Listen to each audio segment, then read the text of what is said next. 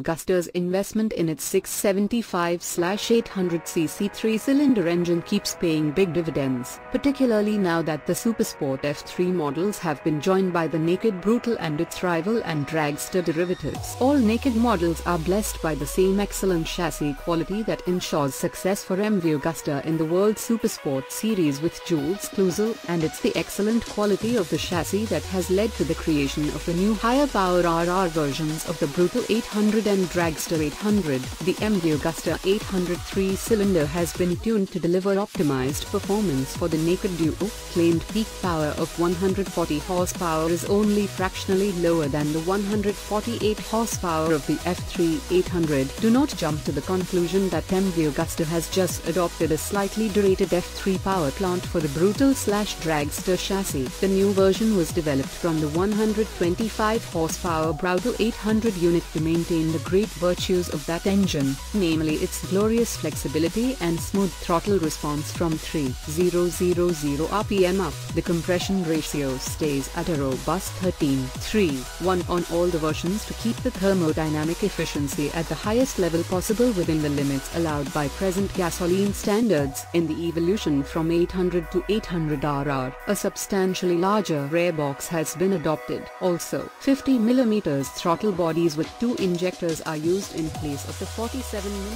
unit.